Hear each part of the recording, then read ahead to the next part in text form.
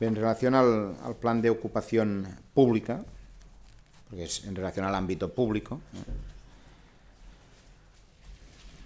decir que ya a, finales del mes de noviembre eh, planteamos la necesidad, visto que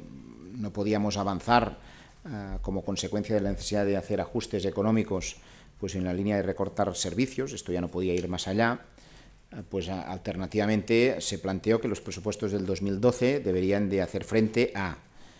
incremento de ingresos, esto ya lo hemos debatido y se ha aprobado pues la ley de, acompañamiento y la ley propia de los presupuestos, ¿eh?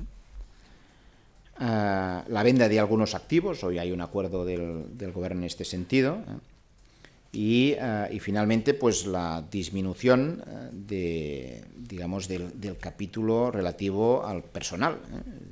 gasto en personal. Esto es lo que hacen tantas y tantas empresas cuando tienen una situación pues, equivalente a la que le pasa a la Generalitat de Cataluña en estos momentos, que, que tiene menos ingresos y más gastos de lo que le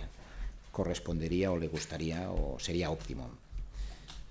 Entonces, eh, en este marco, los presupuestos eh, incluyen una reducción de gasto en el capítulo de personal de 625 millones de euros, eh,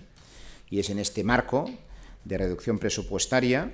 pero también en el marco de reducción de la actividad económica provocada por la crisis, que ha modificado pues, las, cargas de trabajo en los distintos departamentos de la Generalitat de Cataluña, pues es en este marco que se aprueba este plan de ocupación. ¿eh? No hay, esto es verdad, una foto fija de, conjunto de lo que es la distribución de cargas de, de, cargas de trabajo ah, en, la administración de la Generalitat, como debería, probablemente no ha sido necesario hasta ahora. Responde también este plan a, la consecuencia de reducir de 15 a 12 departamentos ah, la Generalitat de Cataluña no hubiera, no hubiera tenido sentido si esto simplemente afectara pues, al número de consejeros y todo lo, lo demás hubiera quedado igual. ¿no? Y esta eh, propuesta también responde a la voluntad pues, eh, de lo que es conocido por parte del Gobierno de la Generalitat de simplificar eh, la administración pública para hacerla más fuerte, más ágil. Al final, nosotros creemos en, una administración pública fuerte